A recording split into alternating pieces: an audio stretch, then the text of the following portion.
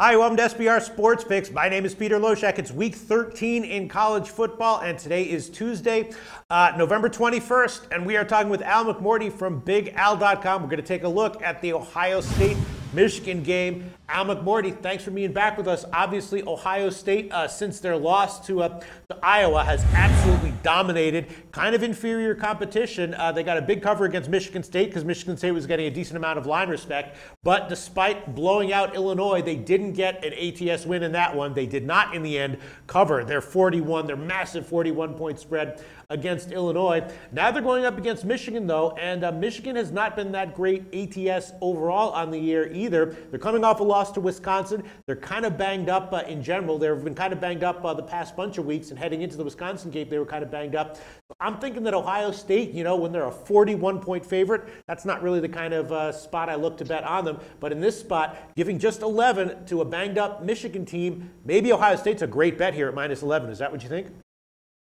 Well, you know, before I get into my analysis of this game, when I was doing my research last night, I came across what I think to be one of the craziest stats I've seen in a while.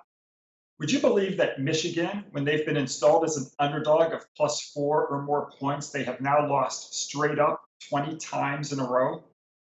Uh, yeah. Well, I mean, Michigan usually gets a lot of, uh, you know, a lot of program respect and line respect. So I guess when they're installed as an underdog, there's real good reason for it, and they should be an even bigger underdog, right? Well, no, I mean, but but I'm just saying by now in those 20 games, they're five and 15 against the spread. But a lot of those games, more than half, they were an underdog. It wasn't like they were double-digit underdogs. They were underdogs of you know plus four to plus seven points. I mean, how do you lose 20 games in a row? I mean, you know, the Cleveland Browns would do better than that. That's all yeah. I'm saying. It's it's no, it's just it's it's crazy. I mean, I think and it's three, yeah. I mean, it's certainly a, statistical, uh, you know, an outlier there, but at the same time, I think there is something behind it. I mean, when a team, when a, when a marquee program like that is an underdog, uh, you know, it tends to be, it's probably the case that they should be an even bigger underdog because uh, people just don't like to, uh, to, to, it's just hard for people to wrap their heads around uh, how much of a disadvantage a program like that might be at, right?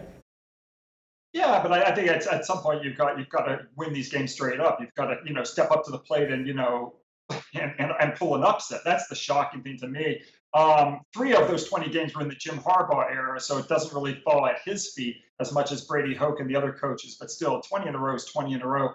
Uh, that being said, you know, the Wolverines are a huge home underdog in this game, even though they are eight and three on the season. And the last thing I think one should ever do is lay double digits on the road to a quality club. Mm-hmm. Indeed, if you go back to 1980, double digit home underdogs have gone 98 and 61 against the spread if they owned a 700 or better uh, record on the year, provided it was at game four of the season forward. So I don't think that bodes well for Ohio State laying the 11 and a half points here. The other thing is that college football teams playing their final home game of the season, they've cashed 59.3% of the time over the past 38 years if they were getting more than a touchdown and had a win percentage of 666 or better. So I'm going to take Michigan plus the points, but I still think it's crazy that they can't seem to win any of these games straight up, but I do think they'll cover.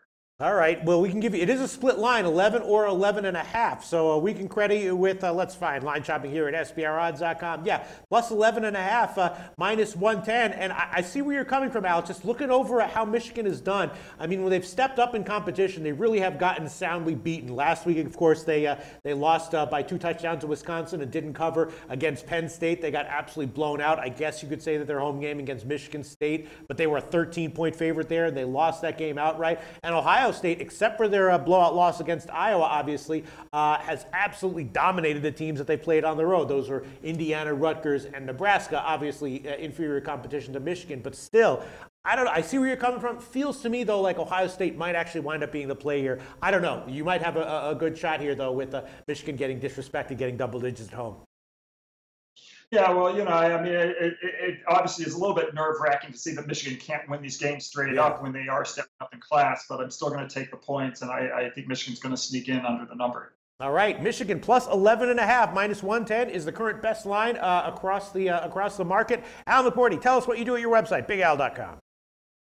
Well, we win money. You know, I've been mm-hmm. absolutely on fire of late. You know, we are now for the entire NBA season on our top rated plays, rated three stars or higher. We're 10 and four. We're 13 and four in hockey on our top rated plays. In football, 57 and 42 on our top rated uh, college and pro football selections rated uh, three stars or higher. We're also 14 and 2 over the past two seasons on our college football conference games of the year. And we're going to have our Big 10 game of the year and our Big 12 conference game of the year on this weekend. So folks can go to bigal.com and click on subscriptions to join. We have weekly, monthly, six month, and annual packages. We also have individual picks for sale. And then we have complimentary selections every day at the website. Just go to bigal.com, click on free picks. We have four free winners every day two from myself, one from Larry Ness, and one from Scott Spreitzer. Great. Thanks so much, Al McMordie.